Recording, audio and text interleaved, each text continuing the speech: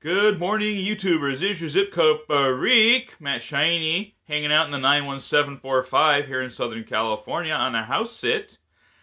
Today's zip code is in my home state of California, but not right around here where I live. It's in the northern part of the state. Loomis, California, 95650, in Placer County, just northeast of Sacramento.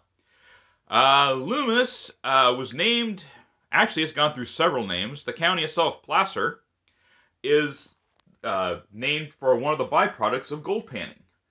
Uh, in fact, Placer was among the names that was selected for what is now Loomis. Uh, in 1861, the place was founded, and it was first called Pino. Actually, it was called Placer in 1861. It was also called Pino and Pine and Smithville, and finally in 1890 they decided to settle on Loomis was the last name of one of the early settlers here.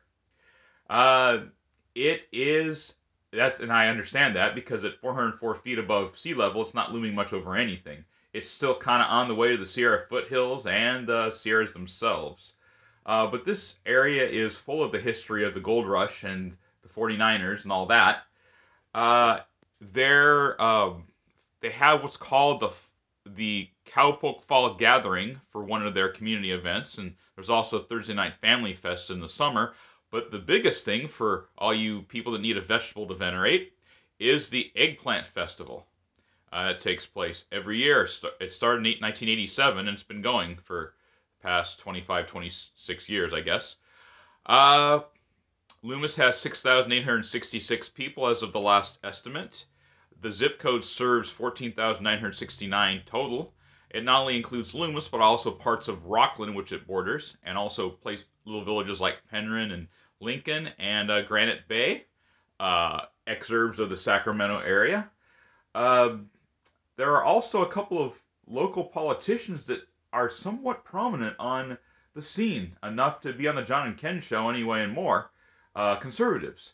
One by man by the name of Kevin Kiley, who was running for ran for governor and didn't make it. Uh, but I hear he's a pretty good guy. He's one of the uh, representatives for the area in this in the state. And then Tom McClintock, who's in the U.S. Congress, who is uh, fairly well known in state and somewhat regional politics for his desire to be a conservative voice in what's more and more a liberal, if not leftist, consensus. Anyway, um, that's Loomis for you. That's not the whole story, but it's just enough to get your feet wet and to whet your appetite for more. Uh, in the 95650. If you like, hit like. If you don't, hit dislike, hit subscribe. Either way, even if you just want to say stuff, I welcome all comments, whatever they are. And uh, have a good day, and we'll see you in the next video. Take care.